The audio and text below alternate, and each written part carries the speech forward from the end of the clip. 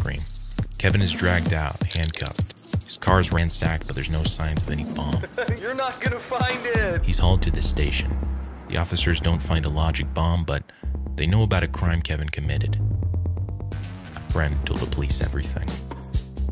He's sentenced to 12 months in prison, followed by three years of supervised release.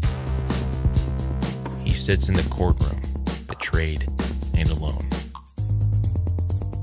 His attorneys plead with the judge that his hacking is an addiction rather than criminal behavior.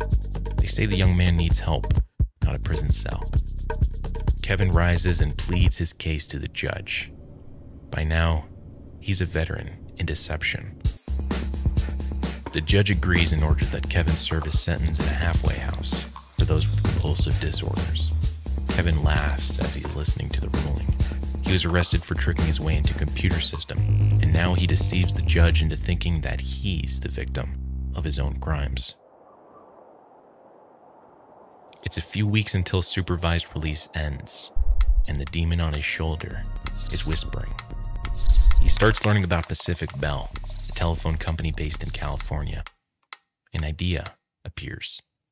If he gets caught, he'll be sent to jail, but if he doesn't, then he'd have fooled the authorities right under their noses. No! No! Soon, he has all the passwords and credentials he needs to take control of the company's voicemails. Kevin is on the run for two years. He loses 100 pounds. When he learns that how a criminal walks is the number one way they're recognized, he puts pebbles in his shoes to change his stride. He uses over a dozen different names. His favorite is Eric Weiss.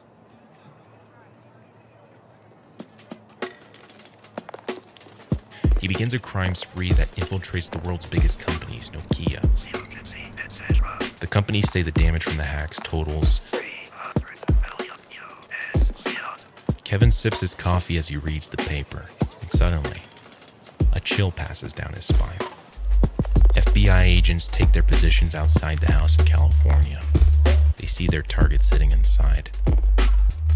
Burst in and draw their weapons, and the man denies that he's Kevin Mitnick. He's a Middle Eastern immigrant, doesn't even own a computer. More than 2,000 kilometers away in Seattle, Kevin throws his paper to the ground, his name emblazoned on the front page of the New York Times.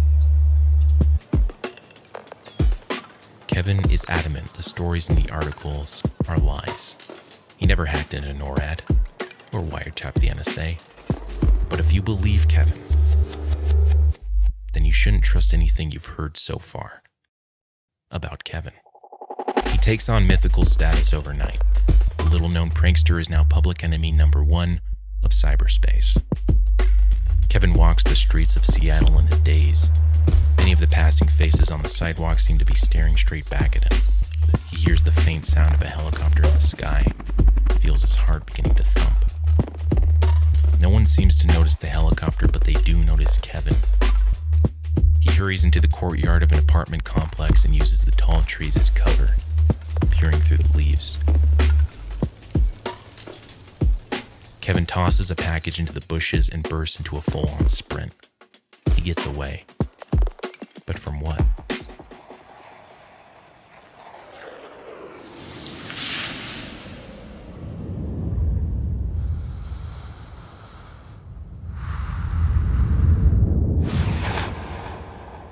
One of America's top cybersecurity experts is finalizing plans to leave for a ski vacation the next day.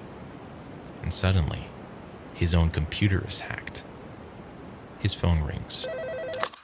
Your security technique will be defeated. Your technique is no good. To someone like him, the attack and subsequent taunts are an act of war. He sets up a series of stealth monitoring posts and creates his own software to track the hacker. He waits in silence until the alarm is triggered. He traces the intruder to a computer modem connected to a cellular telephone somewhere on the East Coast. A man steps out onto his balcony in Raleigh, North Carolina, when suddenly a chill passes down his spine. The FBI agents take their positions outside the house. They see their target sitting inside.